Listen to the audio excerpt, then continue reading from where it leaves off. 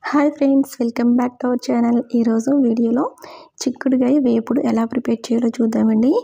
ఇది రైస్లోకే కాదు చపాతీలోకి కూడా చాలా బాగుంటుంది. దీనికోసం టూ టేబుల్ స్పూన్స్ ఆయిల్ అనేవి యాడ్ చేసుకోండి. ఆయిల్ వేసుకున్న తర్వాత ఒక టీ స్పూన్ ఆవాలు ఒక టీ స్పూన్ పచ్చిశనగపప్పు వేసుకుని ఇవి కొంచెం ఫ్రై అయ్యే వరకు ఫ్రై చేసుకోవాలి. ఇవి కొంచెం ఫ్రై అయిన తర్వాత చిక్కుడుకాయలని ఈ విధంగా చిన్నగా కట్ చేసుకొని ఉడికించుకొని పెట్టుకోవాలండి.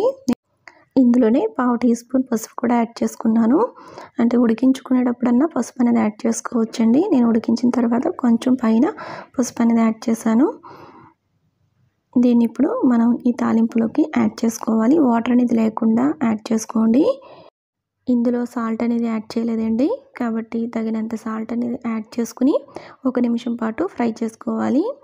దీనికోసం చిన్న మసాలా అనేది ప్రిపేర్ చేసుకోవాలండి. అదేంటో చూసేద్దాము. దీనికోసం ఒక మిక్సీ జార్ తీసుకుని నాలుగు వెల్లుల్లి రబ్బలు అనేది యాడ్ చేసుకోండి. ఆనియన్ ఒక హాఫ్ తీసుకున్నాను. మీడియం సైజులో ఒక హాఫ్ ఆనియన్ అనేది కట్ చేసుకుని తీసుకున్నాను. అలాగే ఎండు కొబ్బరి అనేది యాడ్ చేస్తున్నానండి. మీరు కావాలంటే పచ్చి కొబ్బరి అయినా యాడ్ చేసుకోవచ్చు. అలాగే ఒక టీ స్పూన్ కారం యాడ్ చేసుకోండి. కారం అనేది మీరు తినేదాన్ని బట్టి ఇంకొంచెం ఎక్కువ కూడా యాడ్ చేసుకోవచ్చు. హాఫ్ టీ స్పూన్ జీలకర్రను కూడా యాడ్ చేసుకుని మెత్తగా బ్లెండ్ చేసుకోవాలి. ఇప్పుడు మనం ఒక నిమిషం పాటు ఫ్రై చేసుకున్న ఈ చిక్కుడుకాయల్లోకి ఈ మసాలా అనేది యాడ్ చేసుకోవాలి.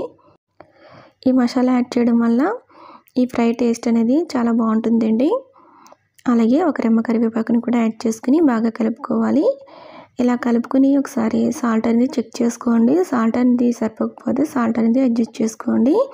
ఇలా బాగా కలిపిన తర్వాత మూత అనేది పెట్టేసుకుని రెండు మూడు నిమిషాల పాటు ఫ్రై చేసుకోవాలి. మధ్యలో కలుపుకుంటూ ఉండండి. దీనివల్ల పచ్చి స్మెల్ అనేది పోతుంది.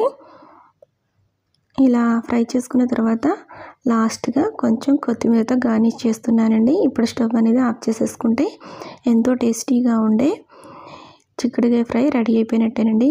ఇది రైస్లోకే కాదు అలాగే చపాతీల్లో కూడా చాలా బాగుంటుంది. మీరు కూడా తప్పకుండా ట్రై చేసి మీకు ఎలా వచ్చిందో మీ ఫీడ్బ్యాక్ని నాకు కామెంట్స్ రూపంలో తెలియజేయండి ఈ వీడియో మీకు నచ్చితే తప్పకుండా లైక్ చేసి సబ్స్క్రైబ్ చేసి షేర్ చేయండి. నా మరిన్ని వీడియోస్ కోసం నా ఛానల్ని సబ్స్క్రైబ్ చేసుకోండి. Thanks for watching.